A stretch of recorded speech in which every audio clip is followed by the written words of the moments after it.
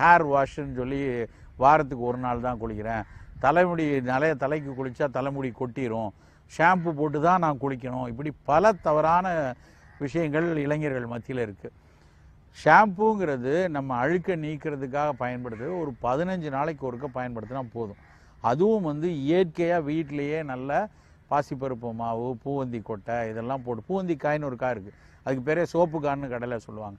இந்த பூவந்தி காயை வச்சு அரைச்சி வச்சுக்கிட்டாலே அது நல்லா தலையை வந்து கிளீன்ஸ் பண்ணும். அந்த பூவந்திக்காய் வந்து சினிமாவில் காட்டுற மாதிரி இல்லை வந்து விளம்பரங்களில் காட்டுற மாதிரி மிக அதிக அளவில் நுரைக்காது. நம்ம நுரைக்கணுங்கிற அவசியமும் கிடையாது. நல்ல புசு புசுன்னு நுரை வந்தால் அதில் வந்து முடி ரொம்ப பிரமாதமாக ஆயிரும் அப்படின்னு நம்ம தவறாக ஒரு கற்பிதம் ஏற்பட்டிருக்கும். நமக்கு அந்த அழுக்கு அந்த சாப்பனின்ஸ் வழியாக கரைஞ்சி வெளியே போகணும்.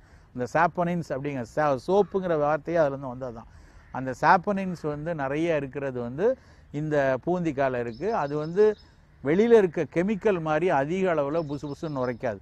ஆனால் கொஞ்சமாக அந்த நுரைக்கிற தன்மையிலேயே அந்த தலைமுடியில் இருக்கிற ரொம்ப பிசுக்கு தன்மையும் மண்டை ஓட்டுக்கு மேலே இருக்கிற அந்த ஒட்டி இருக்கிற தோலில் ஒட்டி இருக்கிற அழுக்கு பொடுகு மாதிரி விஷயங்கள் வெளியே போயிடும் ஸோ அந்த பூவந்திக்காய் அந்த பாசிப்பருப்பு மாவு அது மாதிரி சீகக்காய் தலைக்கு போது உடம்புக்கு போடும்போது பாசிப்பருப்பு மாவு போட்டுக்கலாம். தலைக்கு போடும்போது சீயக்காயில் கொஞ்சம் பூவந்திக்காய் சேர்த்து அதை வைத்தே தலைக்கு தேய்ச்சி குளித்தா போதும்.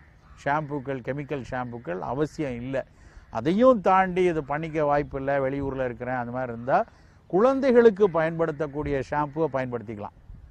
குழந்தைங்களுக்கு பயன்படுத்துறதுக்குன்னு பிரத்யேகமாக வர ஷாம்புல கெமிக்கல் அளவுக்கு குறைவாக இருக்கும்.